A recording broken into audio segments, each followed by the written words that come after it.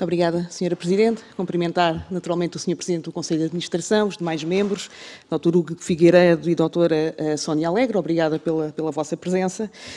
a última vez que aqui estivemos, de facto, reunidos, eu comecei por dizer que nunca seria demais começar uh, por dizer que da parte do Partido Socialista continuaremos a defender uh, que, o, que o serviço público e a RTP garante só pode ser feito numa rádio e televisão pública com um modelo que garanta, de facto, uh, que esse serviço tem futuro. Na altura, uh, ouvimos da bancada do PSD que ninguém hoje contesta a RTP, o seu serviço público ou o seu futuro. Ora, ainda bem que o fizemos na altura e voltamos a fazê-lo hoje. Uh, porque em meses de governação da AD voltamos a ter que discutir não só o serviço público, mas em que é que consiste este serviço público no nosso país uma vez que também o Primeiro-Ministro, em algumas declarações que fez, parece confundir esse conceito. E por isso a primeira questão que, que eu vos fazia é que clarifiquem-nos o que significa a obrigação de serviço público da RTP que a diferencia dos demais. Uh, ainda que, ao longo desta minha intervenção, eu possa, de facto, dar alguns exemplos. Uh, este plano apresentado para os mídia, que deveria ser uh, uma alavanca da comunicação social, tornou-se, de facto, um plano de descapitalização da RTP e, portanto, torná-la uma RTP pequenina, já o disse antes, correrá o risco de se tornar insignificante se este plano for concretizado. Gostaria de vos ouvir uh, também sobre isso. E por isso uh, nós entendemos ser urgente ouvir o Conselho de Administração, que tem naturalmente especiais responsabilidades ao nível da gestão e da negociação uh, do contrato de concessão, sendo que já ouvimos o Conselho de Opinião, que deixou aqui uma opinião muito vincada ah, sobre as implicações negativas que poderia ter para a empresa pública.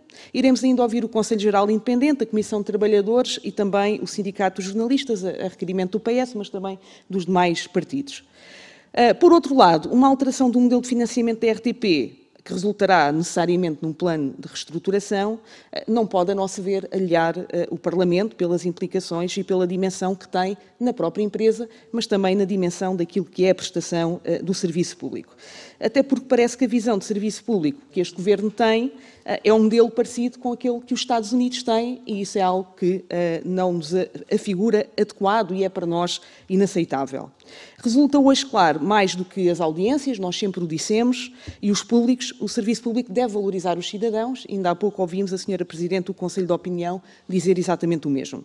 E isso só é possível, de facto, se a RTP tiver meios, se a RTP não for esvaziada uh, e tiver forma, de facto, de poder executar aquela que é a sua missão. Uh, mais estranho é que, se olharmos para as contas da RTP, nós temos uma empresa pública que é saudável financeiramente, registrou, de facto, em 2023, pelo 14º ano consecutivo, resultados líquidos positivos. E, portanto, eu pergunto, uh, de facto, olhando para este modelo de financiamento da RTP, uh, que é, de facto, um modelo de financiamento misto, que tem a CAV, que tem receitas próprias e um investimento publicitário, que, de facto, tem bons resultados, o, o, que é que poderá, de facto, motivar, de facto, esta alteração brusca, sem qualquer estudo de impacto, no modelo de financiamento. Uh, recordo também que uh, o financiamento público da RTP é dos mais baixos da Europa e que também, de facto, a CAV não é atualizada há muitos anos. No último relatório uh, emitido pelo Conselho de Administração, uma das frases que disse e eu queria perguntar se agora, com este arromo de 22 milhões, eh, esta frase pode agravar, disse que a questão do financiamento do serviço público parece-nos incontornável, podemos continuar a fazer o mesmo com mais dinheiro? Infelizmente não. Se não podiam fazer o mesmo com mais dinheiro, como é que vão fazer o mesmo com muito menos dinheiro? É isso que eu pergunto.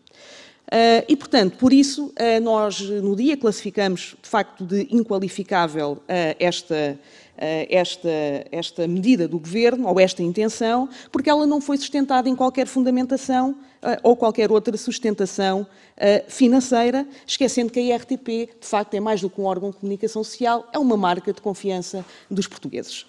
E, portanto, eu diria que temos que olhar, de facto, para as consequências que pode ter, para eh, se houve alguma negociação com o Conselho de Administração, ou está a haver, já sei que não houve reuniões, porque já o disse, mas para compensar eh, essa perda, se poderá eventualmente haver alguma indenização compensatória para compensar essa perda, eh, e também se, na vossa perspectiva, não deveria de haver uma alteração à lei do modelo de financiamento da RTP, porque ela prevê também as questões da publicidade. Eu, só, só para terminar, porque a Sra. Presidente já me está a fazer sinal, eu só queria comentar assim também hoje esta notícia do Diário de Notícias, que diz que RTP quer financiamento de 54 milhões para saídas voluntárias, fala no empréstimo de 40 milhões e de alienação de património. Muito obrigada.